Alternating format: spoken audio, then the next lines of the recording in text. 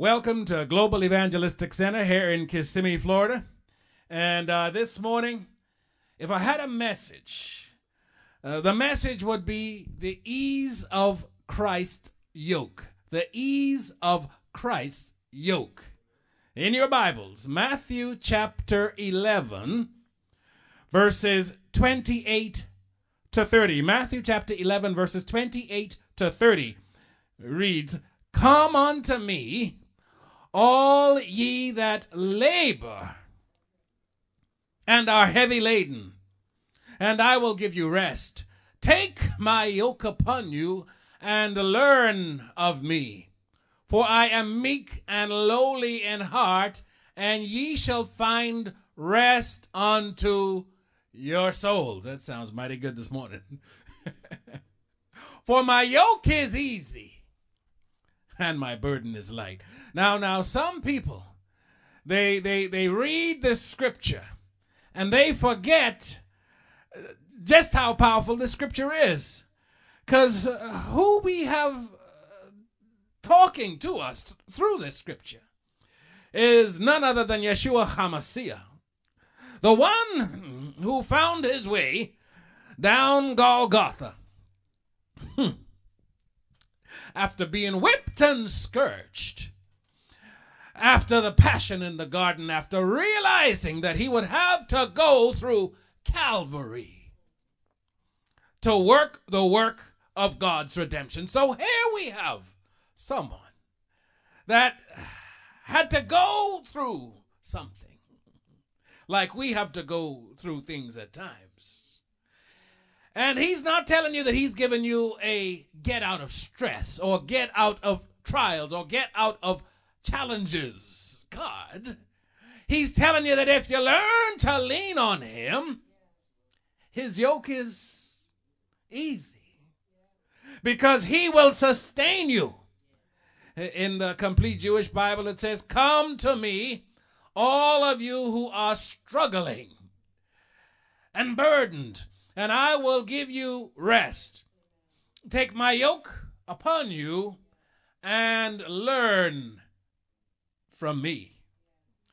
Because I am gentle and humble in heart, and you will find rest for your souls, for my yoke is easy and my burden is light. Now, here at GEC, we have been in a series regarding uh, understanding living in the freedom of Christ, which comes from us bearing each other's burdens, which Galatians chapter 6 verse 2 tells us fulfills the law of Christ. This bearing of each other's burdens is an act of love it means we're supposed to be as the body of Christ. There for each other when times get rough, when times get challenging. We're supposed to be there to speak encouragement and to help each other when there is a need to be helped. Hmm. Amen? This bearing of each other's burdens is an act of love and as a complete Jewish Bible puts it, this is the fulfillment of the Torah's true meaning. Now, in this series, the easiness of Christ's yoke comes from us learning to totally love God with our whole being, our will, our emotions, our intellect, our whole heart, our whole soul, and our whole strength. As the Shema says, Hear, O Israel, the Lord thy God is one. And you shall love the Lord thy God with thy whole heart, with thy all thy strength. it's supposed to be an all encompassing love where you are so in love with God that when you turn your eyes on Jesus, and you look full in his glorious face, the things of this world will grow strangely dim in the light of his glory and grace. The easiness of Christ's yoke is most clearly understood by us applying the principles of the law of liberty to reap the benefits of our engrafted inheritance. Now, remember, we're engrafted into that Judaic tree, and there are specific promises of blessings, of increase that come to us from our engrafting. Amen? Now, we've got to learn to apply the principles of the law of liberty to reap the benefits of our engrafted inheritance, but without the bondage of the law that demands us to do or continue to misunderstand certain acts and certain rituals as a means of salvation while hiding the true significance of the act. Uh, in my last message, we covered the law of liberty. There are principles of the law of liberty. There is the this law is something that we have to learn and practice. It is the operational directions to ensure that we please God. Uh, operational directions to ensure our reaping the benefits of God's promises. In James 1 and 25, we find this law of liberty. But whoso looketh into the perfect law of liberty and continueth therein, he being not a forgetful hearer, but a doer of the work, this man shall be blessed in his deed. Now, you see, what we've got to understand is exactly what this liberty is. Because in the Greek translation of that word liberty, the original Greek word is eleutheria. Eleutheria. I liken it to the country I come from, Eleuthera. but basically, what that is saying is uh, under the operation of the law of the principles of liberty, we have the liberty to do or to admit things having no relationship to salvation. True liberty is living as we should not as we please. The, the other principle of the law of liberty and where we're at today is fully understanding the freedom of Christ's yoke. Now, uh, this morning I want to take another look at the easiness of Christ's yoke because sometimes we can get very heavy laden with a variety of stressful issues and cares of this world. But Jesus wants us to be stress and worry free. Amen. Matthew chapter 11, verses 28 to 30. Come unto me, all ye that labor and are heavy laden, and I will give you rest. Take my yoke upon you and learn of me, for I am meek and lowly in heart, and ye shall find rest unto your souls. For my yoke is easy, and my burden is light. Now, first of all, the proper contextual reference of this scripture shows it as a rebuke against the spirit of religion and as a rebuke to those that consider themselves to be so wise that they cannot repent. Because some people think they are smarter than God. and if you think you're going to get them to repent, you got another thing coming. Because the gospel can be as deep as you want or as shallow as you need. And you've got to get to a point where you accept the simplicity of Christ's message. Because the bondage uh, of these people that have a problem repenting, their intellectuality gets in the way. And the justification of years of tradition gets in the way for them and blocks them from getting the redemption that they need. This labor that Christ is talking about, as the original Greek word for labor is kopi, kopiaho, kopiaho. It shows us that it means to grow weary, tired, exhausted with toil or burdens or grief, to labor with wearisome effort, to toil of bodily labor.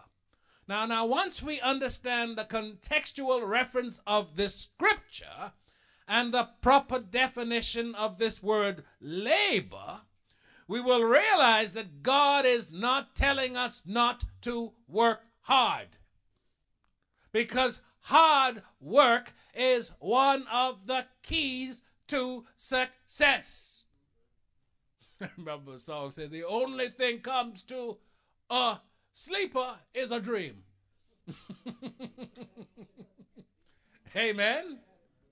Psalm 128, verse 2 shows us that, For thou shalt eat the labor of thine hand. You ain't to eat from slothfulness. You ain't to eat from laziness. You shall eat of the labor of thine hands. Happy shalt thou be, and it shall be well with thee. So, this is not a cop out for laziness because it'll take hard work to build your vision and even to complete your God given assignment. I believe there are some people in here this morning that God has given an assignment to. And you're getting that vision that God gave you is only the beginning. God gave that land to the Hebrew people in Israel, and it ain't like they sitting on it in peace. You're going to have to learn to fight for what God gives you. Amen. Hmm. But all while you are doing it, you've got to keep things in the right perspective. Sister Omi, Psalm 127, verses 1 to 2. Because if you don't, and if you refuse to put God first, then you are wasting your time with all that you are trying to do. Psalm 127, verses 1 to 2. Sister Omi. Unless the Lord builds the house, they labor in vain who build it. Unless the Lord guards the city, the watchman stays awake in vain. It is vain for you to rise up early, to sit up late, to eat the bread of sorrows, for so he gives his beloved sleep. So if you're his beloved, you shouldn't be staying up and can't sleep. Now, there come certain times when you get so busy, like I was, where I didn't get any sleep. The pastor was cooking and doing various other things. and I got started late. There comes sometimes when you lose sleep. But it should not be a regular pattern to where when you go to bed, you lie in, in bed and you can't sleep because you bugged and you paranoid. This scripture is so awesome because when you really look at it, hmm, except the Lord build a house, it's telling you that no matter what you're trying to do, I don't care how fantastic a program or how fantastic a vision or how fantastic a mission or whether it is a beautiful church.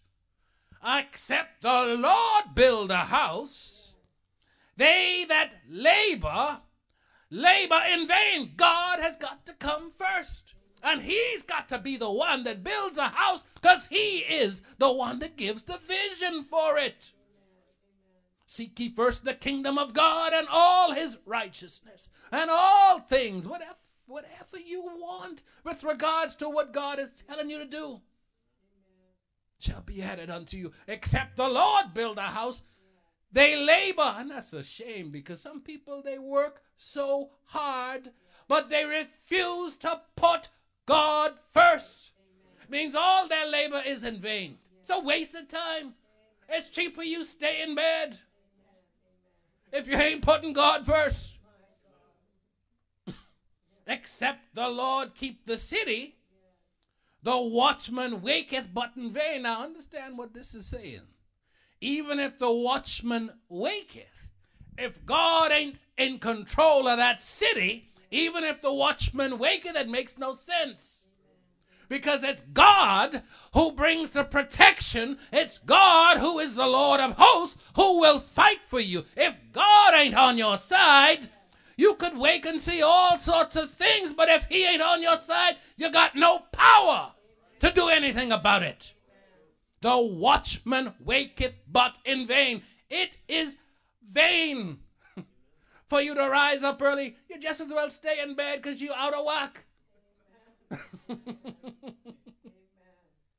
Sometimes we can get so busy with a good thing. Not every good thing is a God thing. Sometimes we can get so busy with a good thing, but it may not be what God has called for to be built.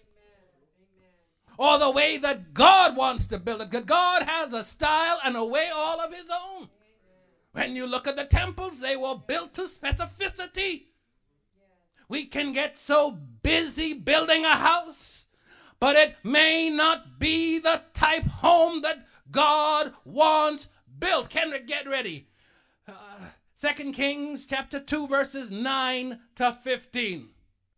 See, we can get so busy building a house, but if God has not called for it to be built the way that He wants, See, there's a difference, and hear me well. There's a difference in carrying a mantle and laboring under a burden.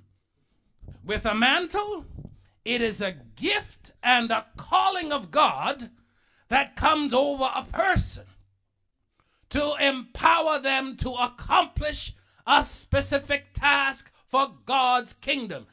Kendrick, Second Kings chapter 2 verses 9 to 15. And so it was when they had crossed over that Elijah Elijah said to Elisha, Ask, hmm. what may I do for you before I, before I am taken away from you? Elisha said, Please let a double portion of your spirit be upon me. So he said, You have asked a hard thing. Nevertheless, if you see me when I'm taken from you, it shall be so for you. But if not, it shall not be it shall not be so. Then it happened, as they continued on and talked, that suddenly a chariot of fire appeared with horses of fire, and separated and separated the two of them. And Elijah went up by a whirlwind into heaven, and Elisha saw it. And when he and he cried out, My father, my father, the chariot of Israel and its horsemen. So he saw, so he saw him no more, and he took hold of his crown, took hold of his own clothes, and tore them into into two pieces. He also took up the mantle of Elijah that had fallen from him and went back and stood by the bank of the Jordan. Then he took the mantle of Elijah that had fallen from him and struck the water and said, Where is the Lord God of Elijah? And when he and when he also had struck the water, it was divided this way and that way, this way and that, and Elijah crossed over. Now when the sons of the prophets who were from Jericho saw him, they said, The spirit of Elijah rests on Elisha. And they came to meet him and bowed and bowed to the ground before him. See, you got to understand the mantle of a prophet of God, the mantle of someone that is carrying an anointing. I can tell you personal experiences about the mantle. Because the first time I felt the mantle drop over my shoulders, I was before a hell raising church.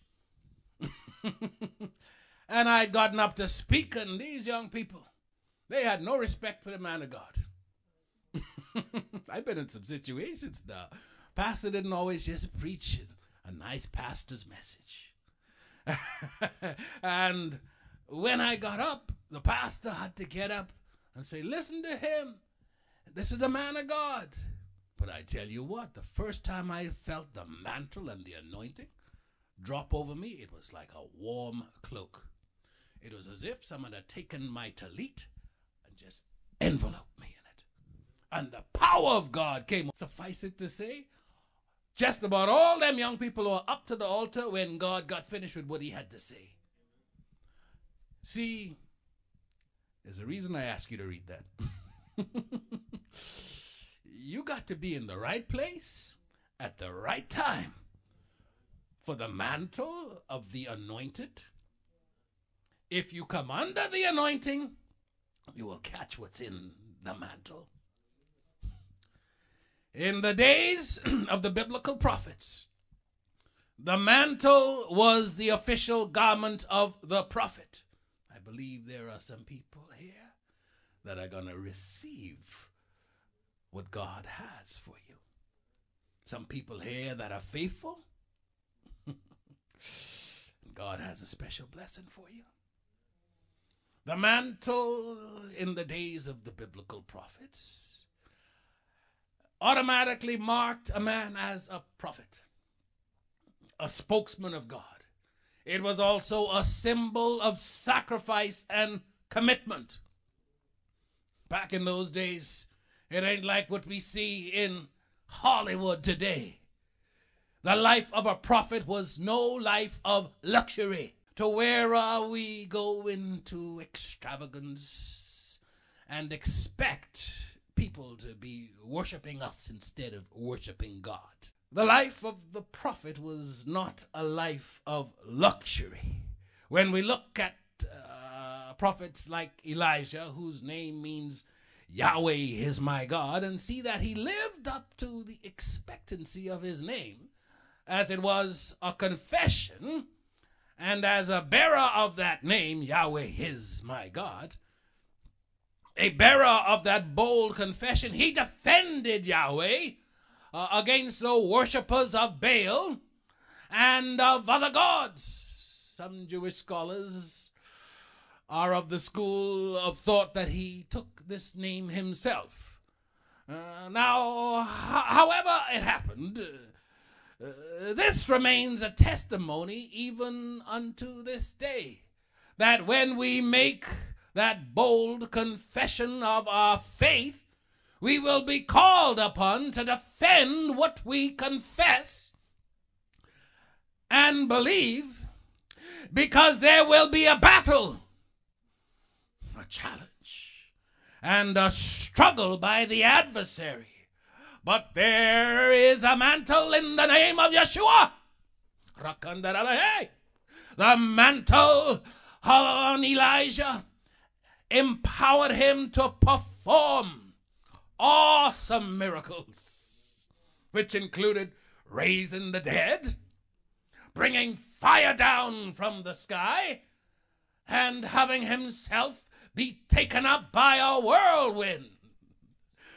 The mantle represents a man or woman's gift, the call of God, and the purpose for which God has called us.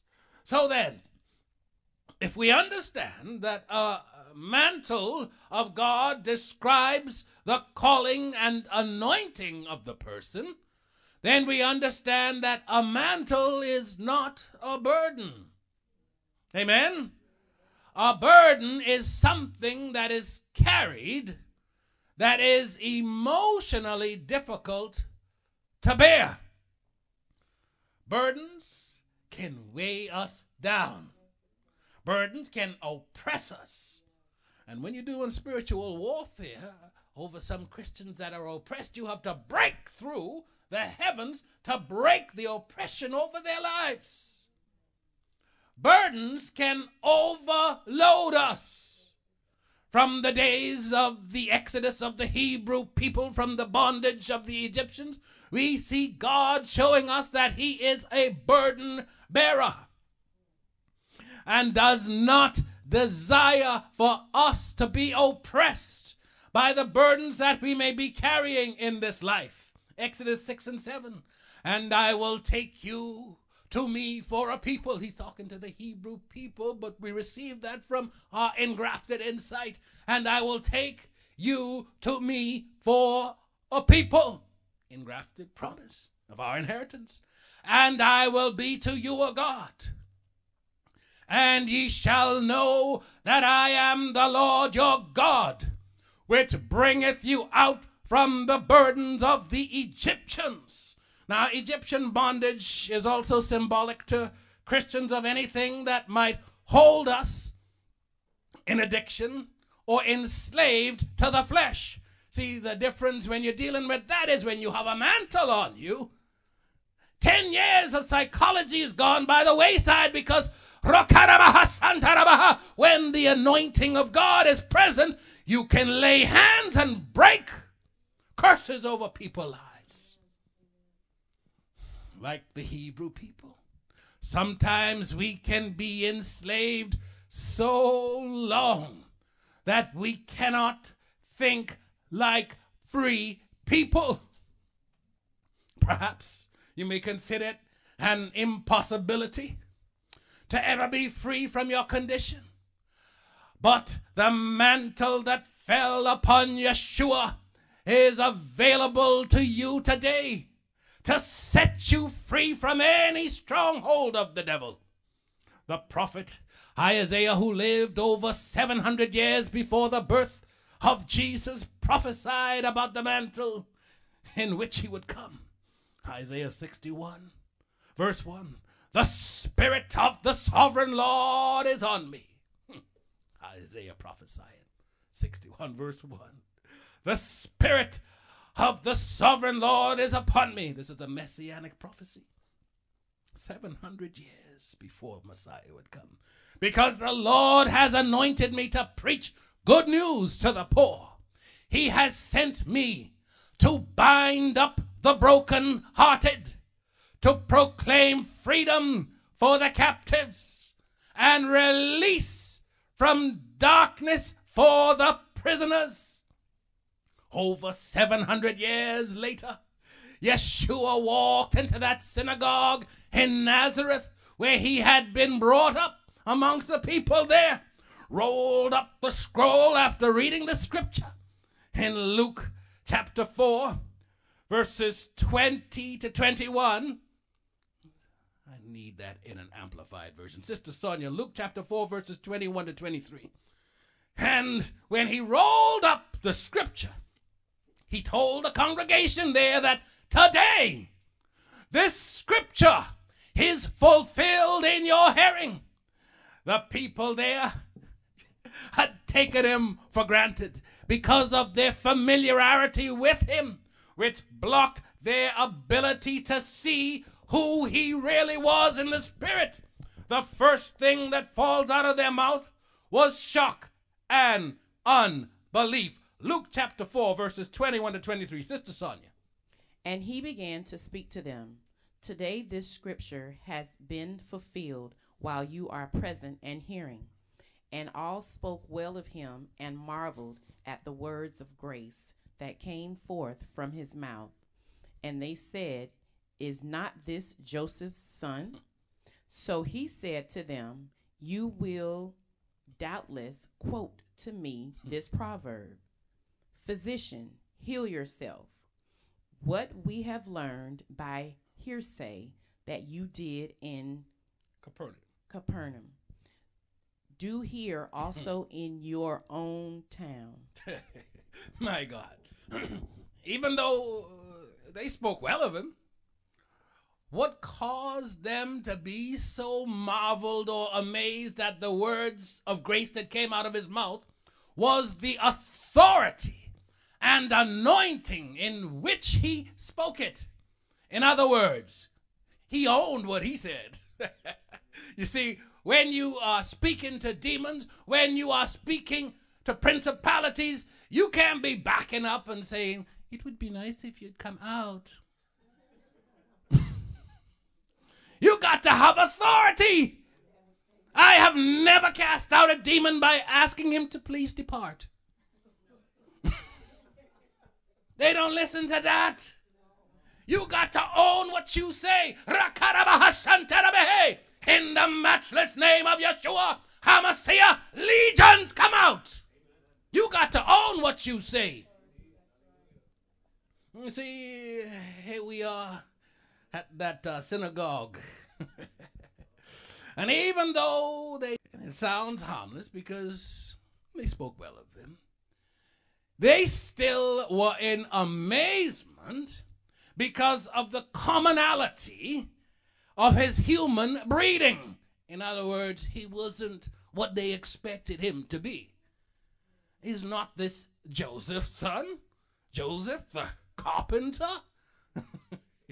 you see, we have to be careful of people that uh, butter us up with flattering words, but are really insulting our intelligence.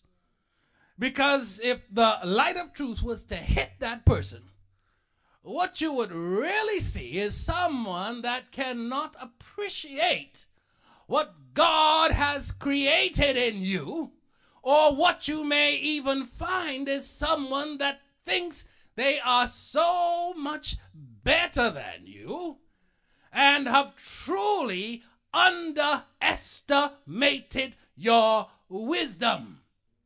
I can't tell you the amount of times I have been underestimated.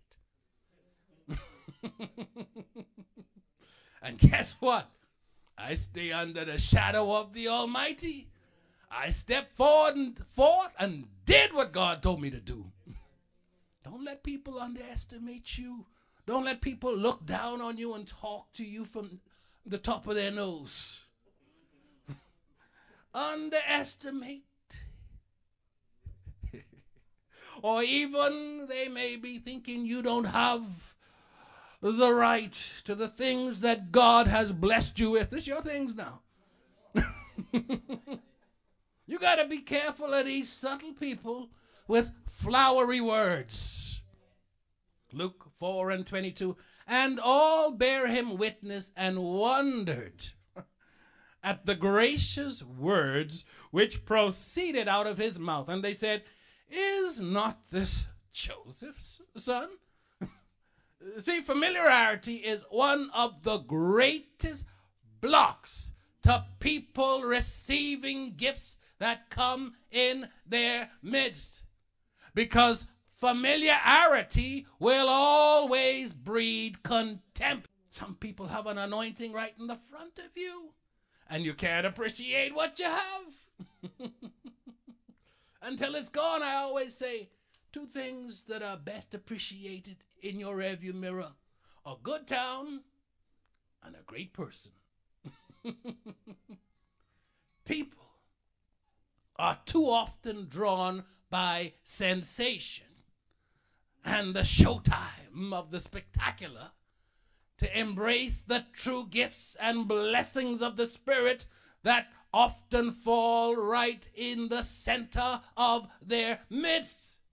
Contempt the state of being despised, dishonored, or disgraced. Is not this Joseph's son? This was not a compliment to his stepfather, but a subtle question of Christ's authority based upon their familiarity with him. Luke 4 and 16. And he came to Nazareth, where he had been brought up and as his custom was, he went into the synagogue on the Sabbath day. So he was brought up in these people's town, and he was all the time in the synagogue on the Sabbath day. So they watched little Joseph growing up, little Joseph's stepson Jesus growing up. They said, "It's not." Wait, hold on a second now. Who, who is this? There was and is a mantle on Jesus to set the captives free, regardless of how long they have been bound. The woman with the issue of blood had been bound for 12 years and had spent all of her money on doctors who could not help her. Before she touched the hem of Christ's garment, Sydney, want you in Complete Jewish Bible, Numbers chapter 15, verses 37 to 41. Twelve years this woman had been bound with this affliction, with this issue of blood. 12 years. Spent all the money on these doctors. Seems like they were charging the same way they charge today. Before she touched the hem of Christ's garment, and in an instant received her miraculous healing. She touched the tzitzit, braids or tassels of Yeshua's tallit, his prayer shawl, Sydney. Numbers chapter 15, verses 37 to 41. Numbers chapter 15, verses 37 to 41, reading from the complete Jewish Bible. Adonai said to Moshe, Speak to the people of Israel, instructing them to make through all their generations tzitzit on the corners of their garments, and to put with a tzitzit on each corner a blue thread. It is to be a tzitzit for you to look at, and thereby remember all of Adonai's mitzvot and obey them, so that you won't go around wherever your own heart and eyes lead you to prostitute yourselves. But but it will help you remember and obey all of my mitzvot, and be holy for your God. I am Adonai, your God, who brought you out of the land of Egypt in order to be your God. I am Adonai, your God. So, so here we go. What she grabbed a hold of, that's why he said, Who touched me? Because virtue came out of me. What she grabbed a hold of was all the promises of God, and that is it. She grabbed a hold of the power of God. Because the mitzvot were the commandments. She grabbed a hold of righteousness.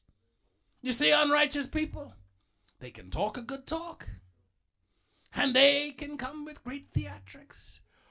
But the anointing is what delivers, and the anointing comes from virtue. A mantle is what sets us free from a burden. But some people confuse a burden for a mantle. Hmm. Some people confuse a burden for a mantle. God will use a burden activate your mantle. Your mantle comes with an assignment, whereas your burden will point you into the direction of your God ordained purpose. Your burden is the calling of your purpose. But if it is carried as your mantle, then you will start to take on and carry the weight of your calling as it if as if it is the right and God ordained thing to do. Some people are walking around heavy laden, and God does not want that. God wants us to be able to walk through stress free. The sorrow of the poor will weigh you down with depression for their plight. Now, don't get me wrong, I'm not saying that we should turn a cold heart or be heartless towards the poor. but you got to understand how the mantle works with poor people. Whereas the mantle that rests upon our shoulders is to preach the good news of God's empowerment that can break the bad habits and generational curse of poverty that might have gotten them into their impoverished condition in the first place. Numbers 14 and 18 The Lord is slow to anger and abounding in steadfast love, forgiving iniquity and transgression, but he will by no means clear the guilty, visiting the iniquity of the fathers on the children to the third and the fourth generation. You see, some people, they screw up in this life. They do bad things. And then that bad thing that they've done becomes a curse that travels down the generations that needs to be broken. The mantle to preach the good news of God's empowerment and salvation can break the curse of poverty. Sister Kira, get ready to read Proverbs chapter 3, verses 7 to 10. The mantle to preach the good news of God's empowerment and salvation can break the curse of poverty that may have been brought about by their disobedience to God's word. Proverbs chapter 3, verses 7 to 10. Do not be wise in your own eyes. Fear the Lord and depart from evil. It will be health to your flesh and strength to your bones. Honor the Lord with your possessions and with the first fruits of all your increase. So your barns will be filled with plenty, and your vats will overflow with new wine. So, in, in other words, some people they come up with their own logic and deduction as to why they should not honor the Lord with their substance. But the word of God says that if you honor God, it shall be health to your nerves and sinews. This is from the Amplified Version. And marrow and moistening to your bones. In other words, when you listen to what God is telling you to do, your health is preserved. And even when you walk through the valley in the shadow of death, you will fear no evil, because God will be there with you. This is a covenant promise. God is saying that if you will be obedient to me, I will pour you out a blessing that there will not be room enough to hold. Your health will be cursed if you do not listen to what God is telling you, and that ain't pastor's words. That is the word of God. Sister Kelly, Malachi chapter 3, verses 6 to 11. You see, people, we got to get ready because I believe God has plans to bless us. I believe this is a season of harvest, but we have to be obedient and get the first things first. If you will not honor God, it ain't about me. If you will not honor God as God commands you, then you cannot look to Him to bless you. Malachi chapter 3, verses 6 to Say, For I, Jehovah, hmm. change not. Therefore, yea, O sons of Jacob, are not consumed. From the days of your fathers ye have turned aside from mine ordinances, and have not kept them. Return unto me, and I will return unto you, said Jehovah of hosts. But ye say, Wherein shall we return? Will a man rob God? Yet ye rob me. But ye say, Wherein have we robbed thee? In tithes and offerings. Ye are cursed with, with the curse, for ye rob me, even this whole nation. Bring ye the whole tithe into the storehouse, that there may be food in thy house, and prove me now herewith, said Jehovah of hosts, if I will not open you the windows of heaven and pour you out a blessing, and there shall not be room enough to receive it. And I will rebuke the devourer for your sakes, and he shall not destroy the fruits of your ground, neither shall your wine cast its fruits before the time in the field, said Jehovah of hosts. See, when you rob God, what ends up happening is that you come out of covenant relationship with God. When you are in covenant relationship with God, the devourer is rebuked because that is a covenant relationship with one who has the power to rebuke the devourer. Hmm. There is a time to give and a way to do it. But the main purpose of the mantle is to break the curse of poverty. It is not about setting up a system for handouts or being burnt out by the sorrow of the poor.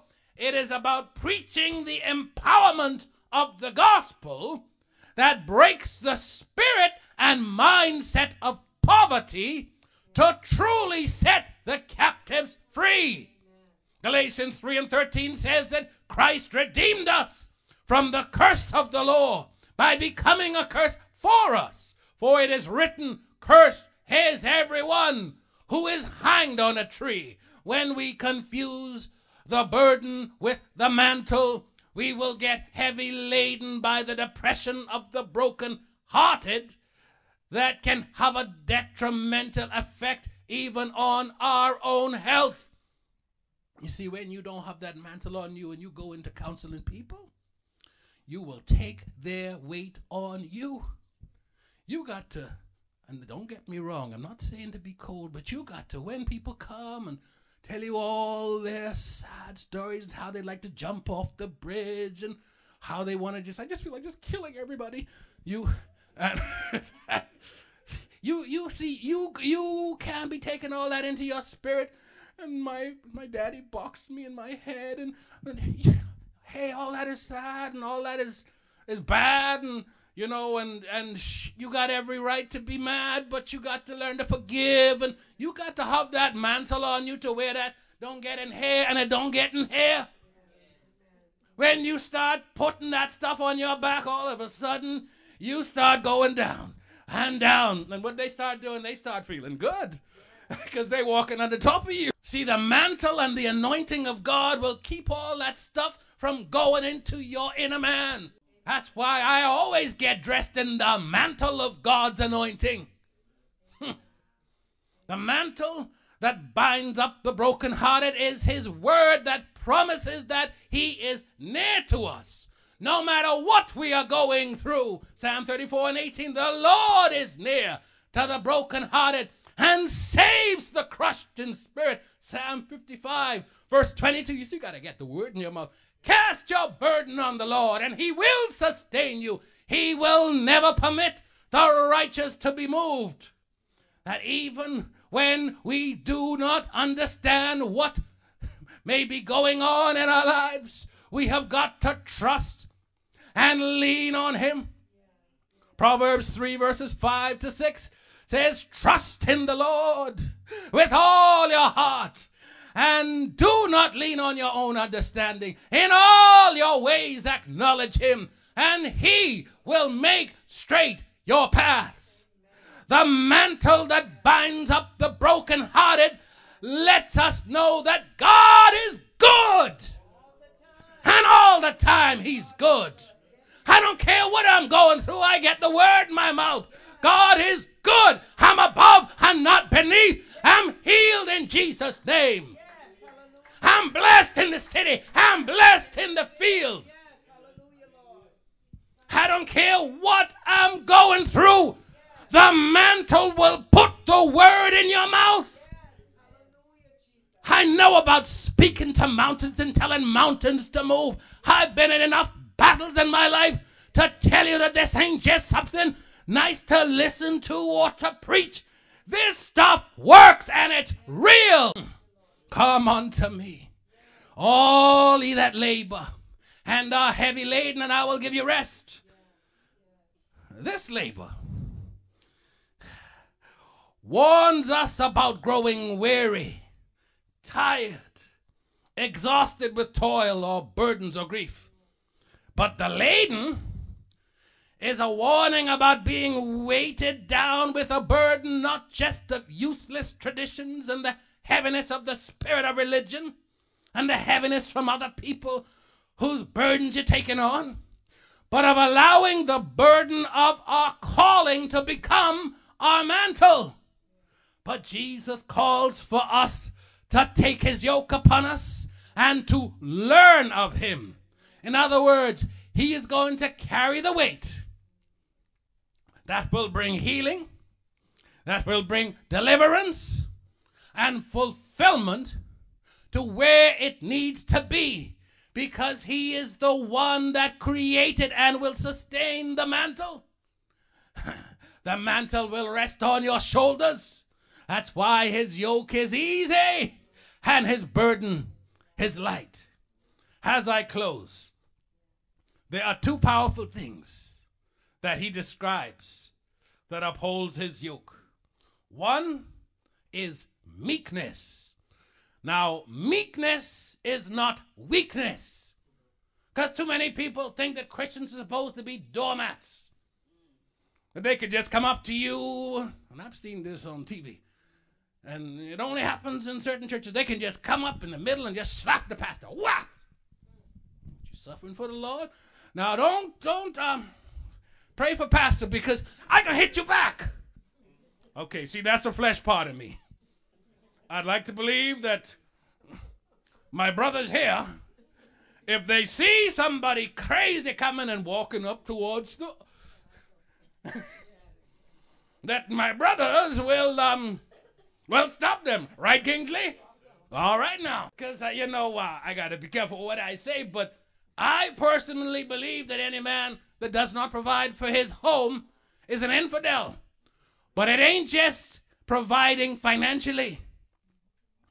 If you would sleep in your bed with your wife and you hear something downstairs and your husband talking about, sweetie, you want to go check that out? You need to, boop, kick some manliness into him. We're supposed to be the defender, the protector.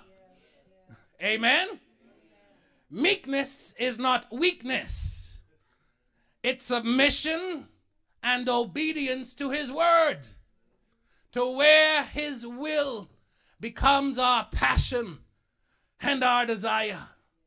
Isaiah 29, verse 19, it says, The meek also shall increase their joy in the Lord, and the poor among men shall rejoice in the Holy One of Israel.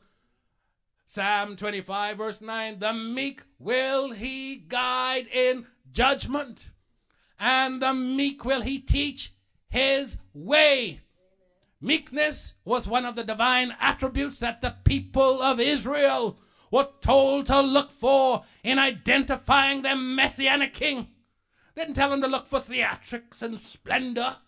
You want fireworks? Buy it. Matthew 21 and 5. Tell ye the daughter of Zion, Behold, thy king cometh unto thee, meek, and sitting upon an ass and a colt, the foal of an ass. But contempt was a major contributing factor in why they missed their blessing, why they missed their Messiah the first time that he came to us in the flesh. The second powerful thing that upholds his yoke is being lowly in spirit. That original Greek word is tapeinos. It's used for the lowliness of spirit, and this is talking about walking in humility. Now, walk, me coming in here and walking all humble. Pastor, what's going on? I'm just humble. I'm just humble. I've seen enough phony people to understand that me looking all humble, humble isn't a look. Some people, they just start looking all humble. I've seen a lady one time I went to see this lady preach. The sister was dressed in all white, and she looked down the whole time because she was too humble to look at the audience. I'm saying, what kind of stuff is this? humble is not a look. I can't tell you, okay, you know, you walk in all sanctimonious and, you know, and you, it's the way you talk. Pastor, what's going on? Everything is relatively good. That's called being phony. Some people, they're too, they're too, they're, they're too falsely humble to even say thank you when they and you give them a compliment. Say, man, you look good. Sister Army, you look great. Well, God has made me. No, I woke up and I look at myself in the mirror and I said, I gotta fix this and I gotta fix that. I saw a person one time. I say, you you gonna get um you gonna go get the ham or the turkey? He said, the Lord will show me. I said, what the Lord? Your belly should show you what you won't get. No, I'm not. No, don't get me wrong. I'm, i know some people they they like to consult the Lord for every decision. You know, and that's nice, all well and good. But certain things your common sense could tell you. Then people wonder why they find Christianity flaky and weird. Because you got a lot of weird and flaky Christians. The metaphorical definition of it uh, speaks about not rising far from the ground. Now, this ain't that you walk around like this It's talking about staying on your knees because it's hard to fall when you live on your knees. It's talking about having an attitude to where you don't think, I'm all that and a bag of chips. Amen? In other words, being broken. You, I could always tell when someone is broken because they don't have that arrogance about them. Some people, they walk into a room and you could tell they have the anointing of God all over them. Other people, they walk in the room and their, their head can't fit in that room. they are legends in their own minds. When you are broken, then you are fit and ready to be used by God. After our own wills and this is this is where the transformation comes in our will has to be broken and it has to become his will. Psalm 138 verse 6 my last scripture for today. Though the lord be high yet hath he respect unto the lowly but the proud he knoweth afar off you see, we move in the spirit. So we could tell when proud people coming. We could tell when proud people coming. Sometimes pride takes on a false sense of humility. Let me get in trouble here. Some people they say, I'm too humble to wear a necktie. That really happened. this fellow was in the corporate world. That's all I'm going to say. I'll probably get in trouble for that one. Anyway, prayer focus. Point one. If we are heavy laden with stress, Jesus wants us to be free. If we are heavy laden with stress, I don't care where the stress come from. Jesus wants us to be free. Point number two for God to make our discernment so sharp that we never miss our blessing because of our contempt or lack of appreciation of the gift that God will put in your life. Mm. For God to make our discernment, you got to be able to discern certain people, certain anointings when they come into your life, and don't take them for granted. You got to learn to appreciate the gift that you got.